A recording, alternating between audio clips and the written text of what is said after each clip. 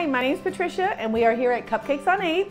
We are at 509 East 8th Street in Marshfield and we opened the shop in March and we came here from New York City, Long Island in November 2015 and we just opened our store. My son John is 12 years old and he has Down syndrome and uh, this store is to help teach him life skills, learning how to count, calculate money, um, customer service. Even when you have a bad day, you have to be nice to people. So it's all about life skills. The fire department came to pick up some cupcakes today that we donated to them. John with the fire department decided to bring the big fire engine and an ambulance and let all the kiddos come and check it out and see the functions of the, of the vehicles and meet the fire crew.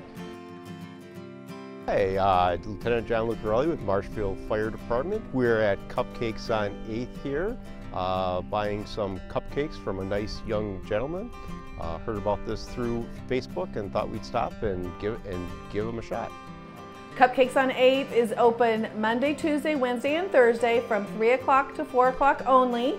And we sell little mini baby cupcakes for 25 cents. And that's when John works after school. He works the register and collects the money. And then we're open on Friday, Saturday, and Sunday, beginning at 11 o'clock and closing at 6 o'clock on Friday, 5 o'clock on Saturday, and 3.30 on Sunday. And we offer a full range and flavors of cupcakes. We do cakes and stack cakes, carved cakes, sheet cakes, and cupcakes, mini cupcakes, um, all gourmet flavors. So come on down and check us out. We can't wait to meet you. Thanks.